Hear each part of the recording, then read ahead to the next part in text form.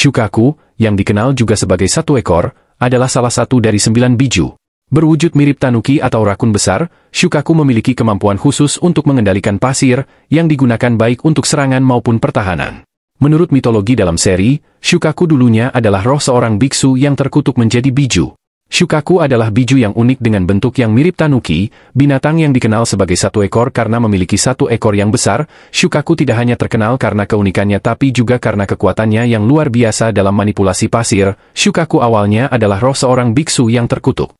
Karena kutukan tersebut, roh ini bertransformasi menjadi biju, makhluk berkekuatan besar yang kemampuan utama Shukaku adalah mengendalikan pasir, yang digunakan baik untuk serangan maupun pertahanan. Kekuatan ini sangat simbolik di Sunagakure, tempat pasir berlimpah dan menjadi sumber daya alami serta alat pertahanan desa. Sebagai biju, Shukaku telah disegel dalam tubuh beberapa ninja dari Sunagakure, termasuk Gaara, yang merupakan salah satu jin ceriki paling signifikan. Gaara dan jin ceriki lainnya harus berjuang dengan beban berat akibat kekuatan Shukaku yang mereka pikul. Proses penyegelan Shukaku dalam Gaara saat masih bayi dilakukan oleh desa Sunagakure dengan tujuan menggunakan kekuatannya untuk pertahanan desa.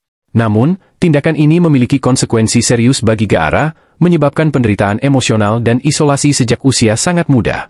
Penyegelan ini bukan hanya menciptakan senjata bagi desa tetapi juga menimbulkan beban yang berat pada Gaara, yang harus berjuang dengan kekuatan luar biasa dan sering kali merusak yang tinggal dalam dirinya. Kepribadian Shukaku yang kejam dan sadis menambah kompleksitas karakternya sebagai biju.